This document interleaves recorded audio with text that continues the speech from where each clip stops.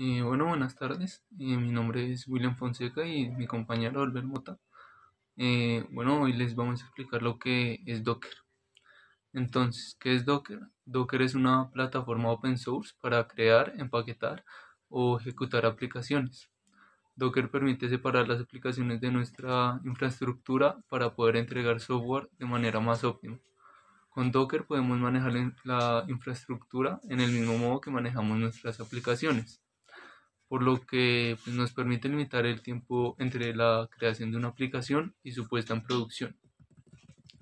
Entonces Docker ofrece, pues, lo que la plataforma Docker provee la habilidad de empaquetar y ejecutar una aplicación en un entorno aislado llamado contenedor o container.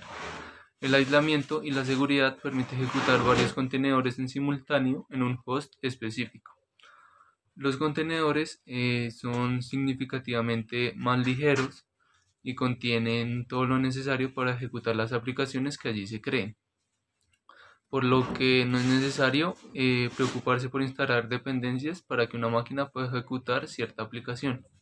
Con esto podemos compartir contenedores de manera mucho más eficiente eh, mientras seguimos trabajando pues, en esa aplicación y con esto pues tener la certeza de que la persona a la que le enviamos un contenedor o una imagen podrá ejecutar pues dicho contenedor de la misma forma en lo que lo haríamos nosotros pues en nuestro computador entonces ¿qué provee la plataforma Docker? Eh, pues básicamente nos permite pues eh, manejar el ciclo de vida de los contenedores crear una eh, aplicación instalar sus dependencias usando pues los contenedores y pues que el contenedor eh, se convierte en sí mismo, o sea, se convierte en un medio para poder probar y distribuir eh, las aplicaciones.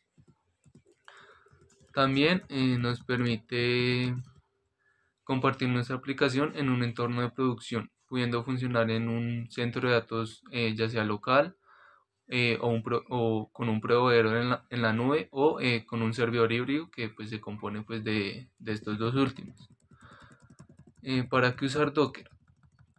Entonces básicamente, eh, eh, pues digamos una de las fortalezas de Docker es debido a la velocidad que es dado a una entrega consistente en nuestras aplicaciones.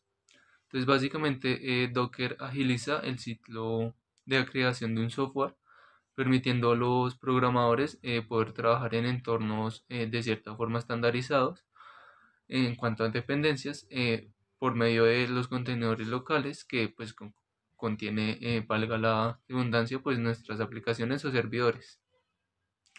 Los contenedores son perfectos para ciclos de trabajo que se basan en la continua integración y, y, entrega continua de software, eh, por lo que les mencioné anteriormente, por eh, mantener como esos entornos estandarizados. Y también Docker se utiliza, ah bueno, eh, pues por dar un ejemplo, consideremos el siguiente caso en donde nuestro equipo de trabajo de programadores pues trabaja en un entorno local donde pues crean el código necesario y comparten dicho código con, pues, con los demás miembros del equipo mediante contenedores Docker.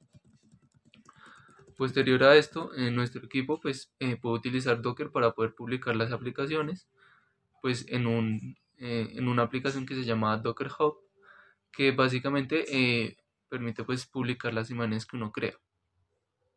Entonces cuando nuestro equipo utiliza Docker, eh, puede digamos eh, ejecutar esos contenedores en un entorno de pruebas y también eh, hacer pruebas manuales para pues para testear el código que, que hay en dicho contenedor.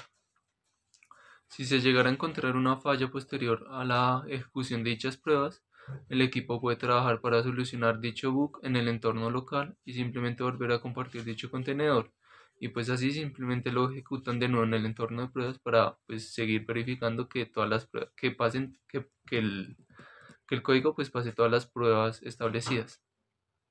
Y si se llega a pasar eh, dichas pruebas, el equipo pues simplemente tendría que actualizar y compartir la imagen del contenedor en un entorno de producción pues donde ya ya digamos se encuentra un código funcional.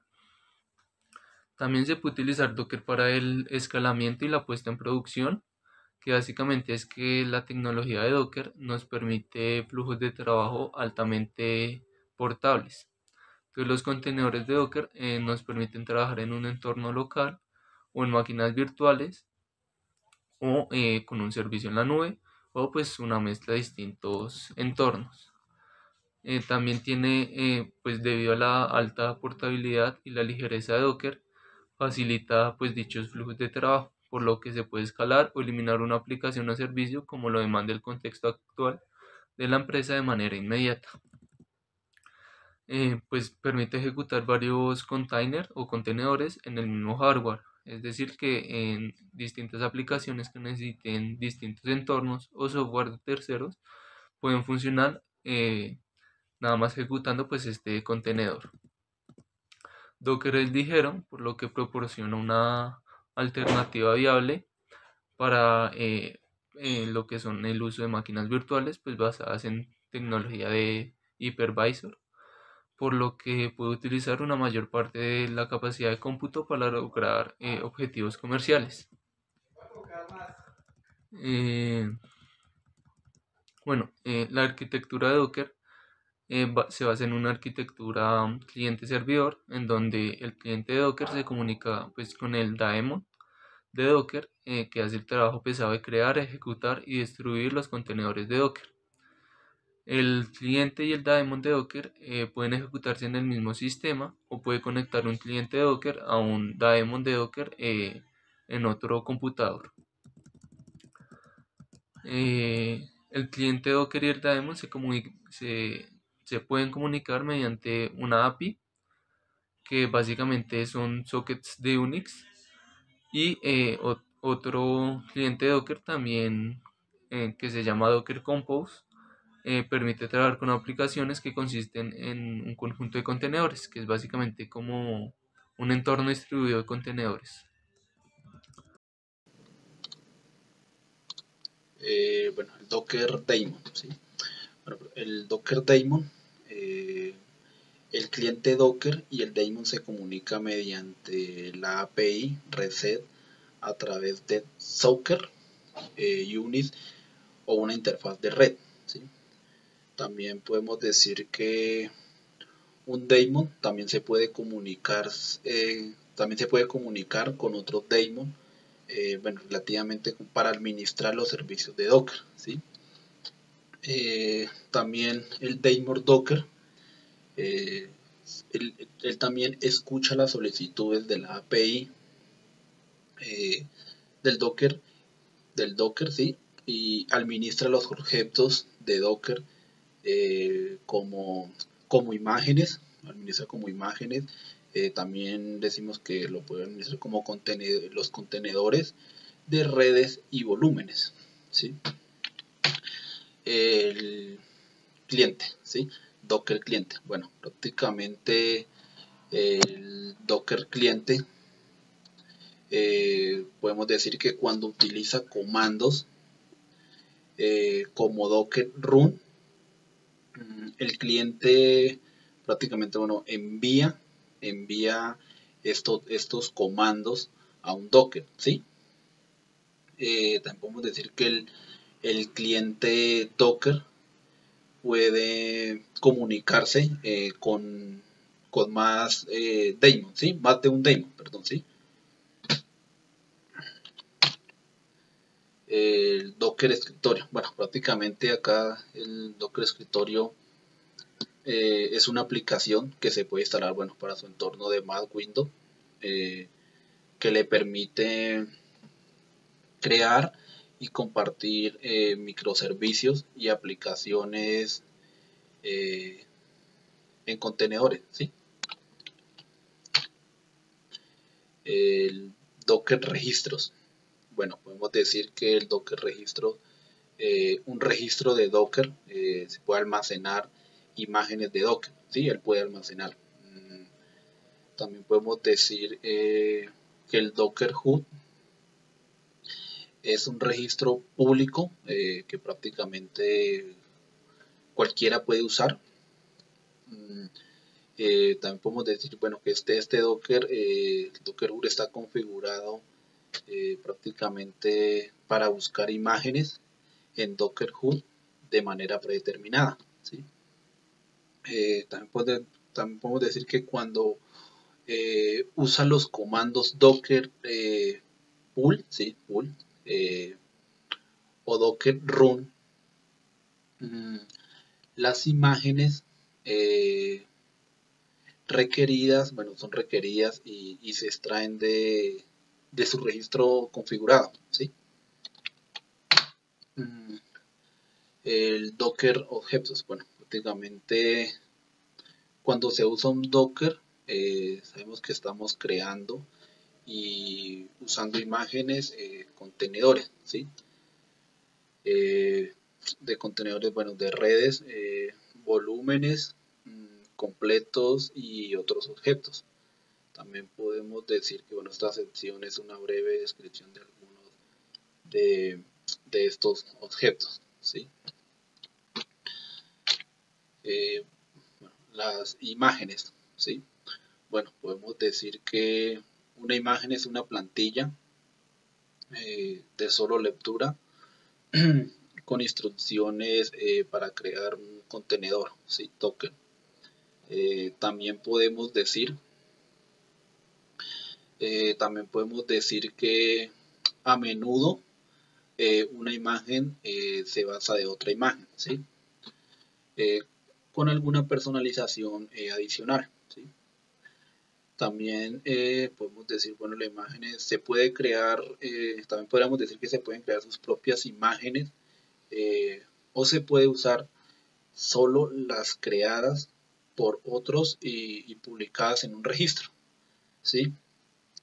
bueno, también incluso podemos decir que las imágenes para construir prácticamente su propia imagen se crea un, un Dockerfile eh, con una sintaxis simple, ¿sí? Eh, es decir, como para definir, bueno, esto, esto quiere decir es como para definir los pasos eh, que necesitamos o necesarios para, para crear la imagen y, ejecutarla, ¿sí? los contenedores. Eh, un contenedor, eh, bueno, prácticamente es una instancia ejecutable de una imagen. También podemos decir que puede, un contenedor puede crear, también puede iniciar y de eh, mover o eliminar un contador mediante la API o la CLI del Docker. ¿sí? También podemos decir que bueno, un, contenedor está relativamente bien aislado de otros contenedores, ¿sí? Y prácticamente, bueno, está aislado de sus contenedores y de su máquina host, ¿sí? Los contenedores, bueno, eh, podemos decir, también lo podemos definir que pues un contador eh, se define como por su propia imagen, eh, así como cualquier otra opción de configuración, ¿sí? Que lo proporciona al crearlo o iniciarlo.